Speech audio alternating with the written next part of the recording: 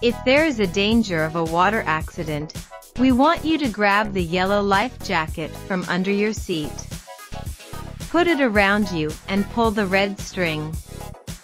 If that doesn't work, you can always blow the red blow tubes to put the life jacket on normally. There are two belts on the sides of your seat when taking off and you must wear them for landing. It's simple, put the two belts together until you hear click.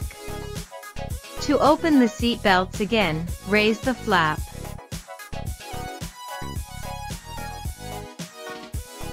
In a problem of a crash or severe turbulence, these oxygen masks come out of the ceiling.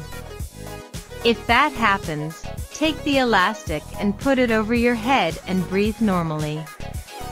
Always help yourself first and then your child.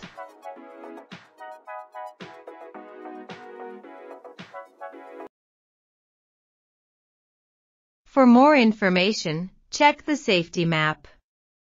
This video is made possible by Sem Jonker, the chairman of Sem Airlines.